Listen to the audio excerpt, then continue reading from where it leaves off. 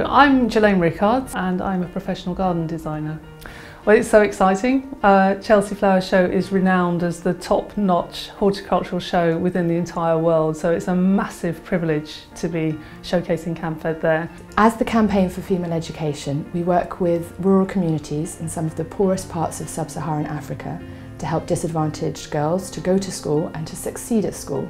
As they complete school, we support young women to uh, create businesses that help them to generate an income and to lift themselves and their families out of poverty.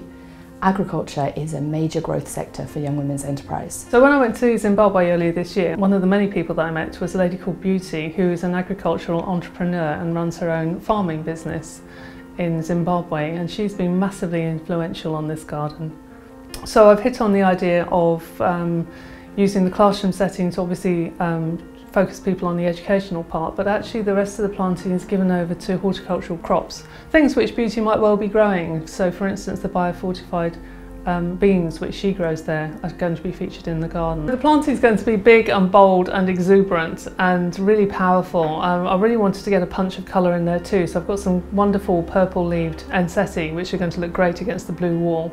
People won't have seen a lot of the crops that we're going to be growing there. We're hopefully going to get a papaya tree there with some fruit on it too and a mango tree and possibly a jacaranda or an orange tree. So there's a massive amount of really run, wonderful plants going in, which I'm hoping the public are going to really stop and talk about, and then hence talk about Camfed.